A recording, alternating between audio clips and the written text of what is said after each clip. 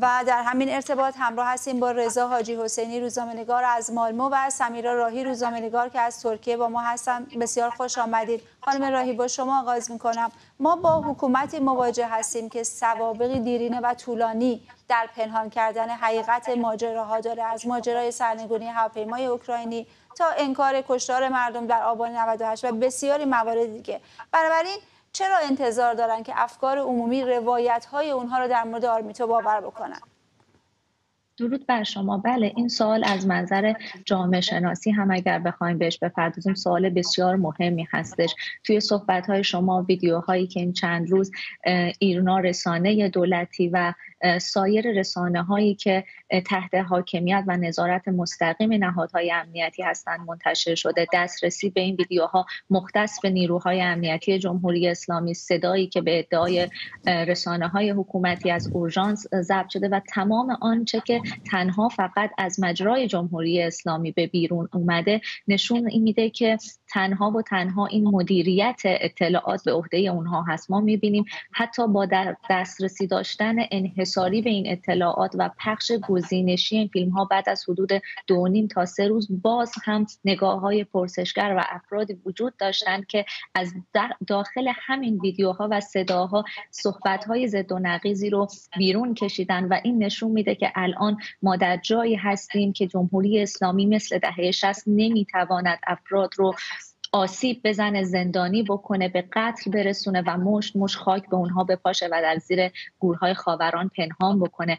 امید به اینکه آرمیتا گراوند با صحت و سلامت از بیمارستان خارج بشه و خودش در زمانی راوی این حقیقت باشه. اما این اتفاقات رو وقتی که کنار هم می‌ذاریم می‌بینیم که هیچ عقل سلیمی خوشبختانه این یاوهگویی های جمهوری اسلامی رو در حال حاضر باور نمی‌کنه. حتی به شبهه میندازه برخی از افرادی که نزدیک به حاکمیت هستند در فضای مجازی و رسانه های اجتماعی همین ویدیوهای تخلیه شده یک ویدیو کوتاهی که خبرنگاری حکومتی تصنیم اون رو منتشر کرد و بعد پاک کرد. همه اینها سوالاتی رو ایجاد می‌کنه که جمهوری اسلامی با دست خودش این سوال رو در ذهن افکار عمومی و روزنامه نگارا کاشته آیا در هر جای ایران یک بچه یک انسان به دلیل افت فشار به ادعای حاکمیت نیاز به این چنین زیر رو کردن فضای امنیتی ویدیوهای اعترافات اجباری و اقداماتی که تا به حال جمهوری اسلامی در مورد آرمیتا داشته نیاز هست. جواب همه اینها یک نه و اون هم دست داشتن جمهوری اسلامی برای پنهان کردن واقعیت. بله. آقای حاجی حسینی این برخورد امنیتی گسترده در مواجهه با وضعیت آرمیتا دقیقا نشان دهنده چه هستش؟ آیا این رفتارها نشان از وحشت حکومت داره؟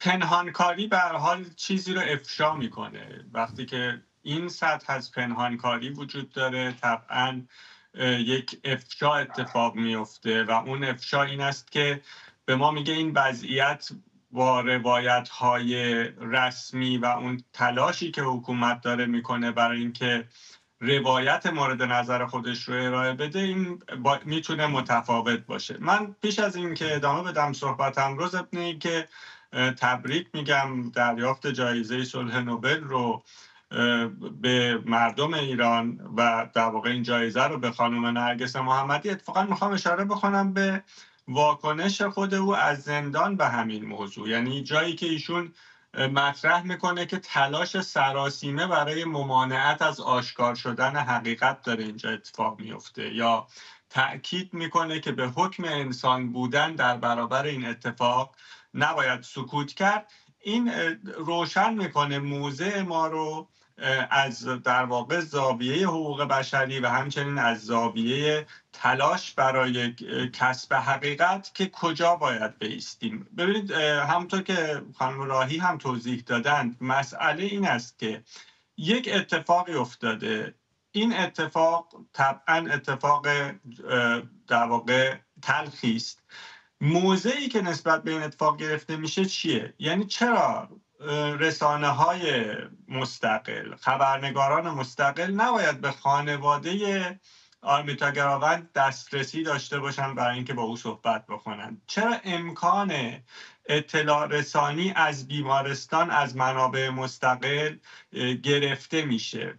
طبعا اگر که قرار باشه یک روایت مشخص داشته باشه این ماجرا و اون این باشه که افت فشار یا حالا هر دلیلی باعث این ماجرا شده خب روایت هایی که منتشر بکنند هم همین خواهد بود. حالا با مقداری کم و زیاد. ولی بستن این فضا در شرایطی که ما تجربه فاجعه ای که رخ داد برای محسا امینی رو داریم و بعد در واقع اصرار حکومت بر این روایتی که داره مطرح می‌کنه. همزمان با تحت فشار گذاشتن راویان دیگری که می‌تونند وجود داشته باشند برای این ماجرا چنان که عرض کردم نشون میده که نکته ای در این میان وجود داره مسئله ای در این میان وجود داره که تلاش می‌کنند اون رو پنهان بکنند و هرچه این تلاش برای پنهان کاری بیشتر باشه طبعا این موضوع بیشتر آشکار میشه.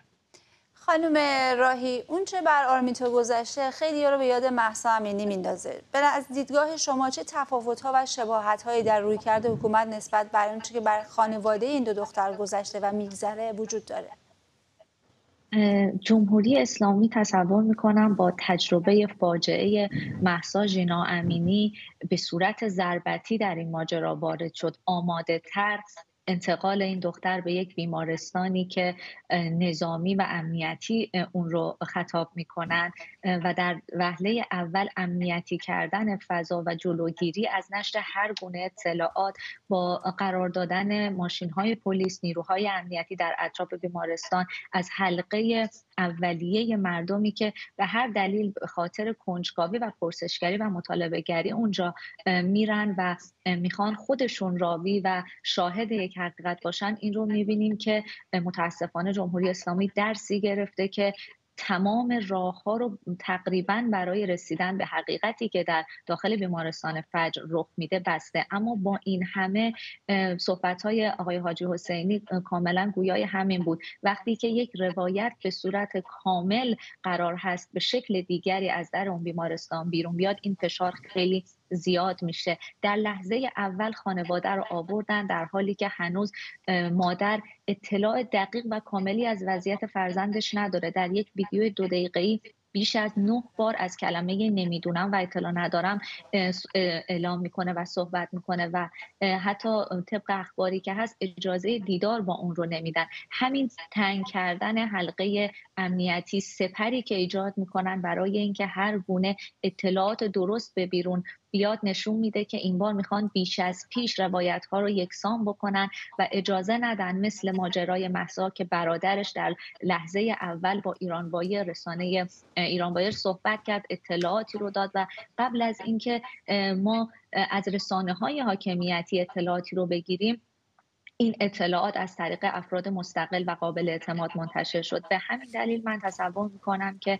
حقیقتا جمهوری اسلامی در این مورد تونسته یک فشار امنیتی و یک سپر اطلاعاتی رو ایجاد بکنه. اما نکته اینجاست که چرا باید از حاکمیتی که همیشه عادت به پنهان کردن حقیقت و وارونه نشون دادن واقعیت داشته باشه مطالبه گری بشه. ما به سابقه بله. جمهوری اسلامی نگاه می‌کنیم. در مقابله با دختران خیابان انقلابی نکته کوچیکی هم خیلی مهمه. در روز روشن در پرترددترین خیابان شخصی که به مسالمت آمیزترین شکل اعتراض می‌کنه رو با یک لگت به زمین پرتاب می‌کنن. افکار عمومی نمیپذیره که در پشت پرده اتفاقی غیر از این و رفتار مسالمت آمیزی از جمهوری اسلامی سر بزن. بله ممنون از شما مهمانان برنامه رضا حاجی حسینی روزنامه نگار از مالمو و سمیرا راهی روزنامه نگار از ترکیه.